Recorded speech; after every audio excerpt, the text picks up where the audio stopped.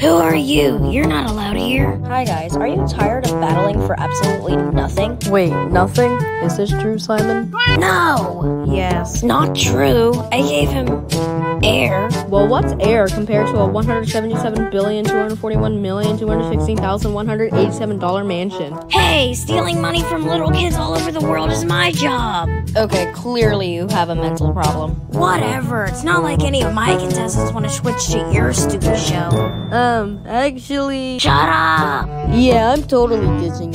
Me too. I want that $177,241,216,187 mansion. Well, you still can provide some benefits, C Block. What do you want from me? Any chance you'd like to co host? Okay, bet. Yay, first time I see you happy. Okay, now let's split the 28 of you into two teams of 14.